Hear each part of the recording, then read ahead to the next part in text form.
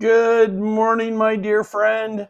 It is Thursday, September 14th, and our reading for today is Daniel chapter 9 through 12.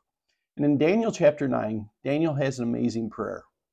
He's interceding, yes, for himself, but really for the whole nation. And it's a prayer of repentance, and it's a great example to us of a prayer of repentance that we need to make. And it says this I prayed to the Lord my God and made confession, saying, O Lord, the great and awesome God who keeps covenant and steadfast love, and those who love him and keep his commandments.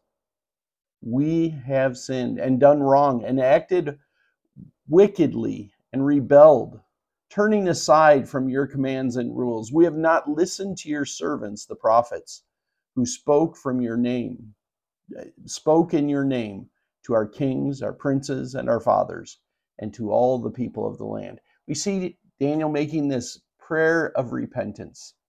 And we need to pray this type of prayer often, going to the Lord, recognizing the sin in our own life and in the lives of the nation, those around us.